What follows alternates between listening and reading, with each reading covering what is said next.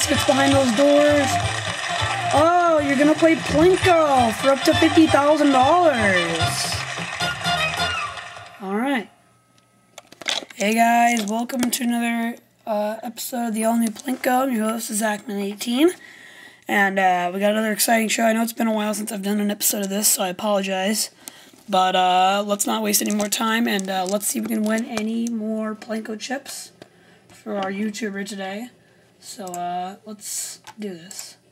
Our first item is a 25 inch beanbag chair, and I believe it's the 7. Nope, it's the 4. Okay, a 3. No. Uh, 4. No. 0. Okay, well, looks like we have two Plinko chips. So that's not too bad. Somebody can win up to $20,000. The question is, who will it be? Let's find out.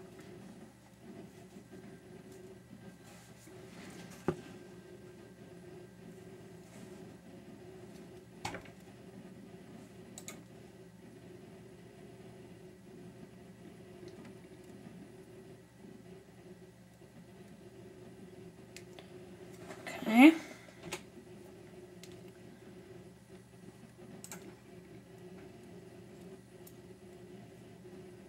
And our winner this episode of Plink of the all new Plinko is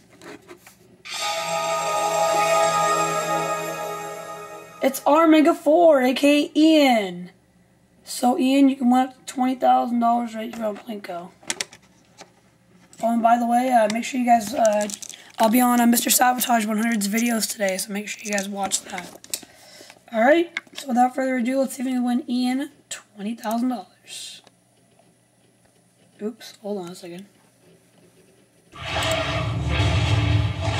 My bad.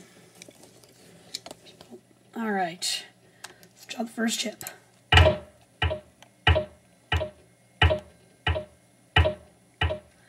Ten thousand dollars right off the bat.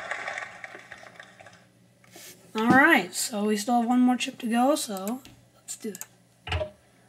Come on,